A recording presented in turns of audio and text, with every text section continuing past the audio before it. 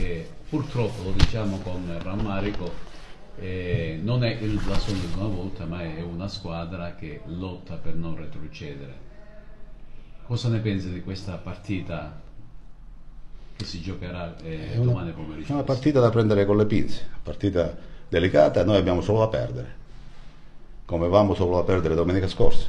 Se sbagli sei un un imbecille, sei un deficiente, perché nelle carte c'è scritto questo. E quindi ancora una volta ci troviamo davanti a una situazione, eh, anche, anche perché noi oggi siamo in emergenza. Abbiamo una squadra fuori e una dentro, numericamente, perché abbiamo tra gli squalificati, gli infortunati e tanti ragazzi purtroppo che hanno qualche piccolo problema, ne annoveriamo quanti? Da 9 a 11 fuori.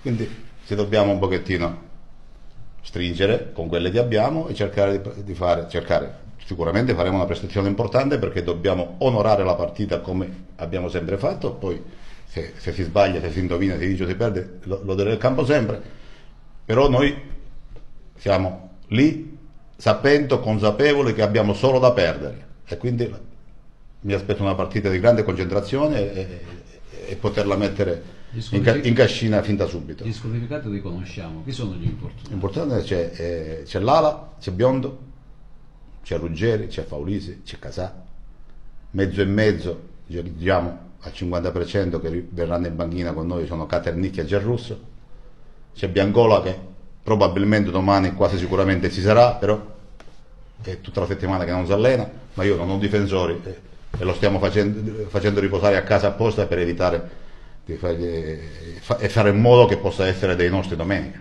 Diciamo che questa partita arriva in un momento eh, un po' particolare per l'AC ragazzi, però non dobbiamo dimenticare che l'Alcamo ha vinto una sola volta in tutto il campionato.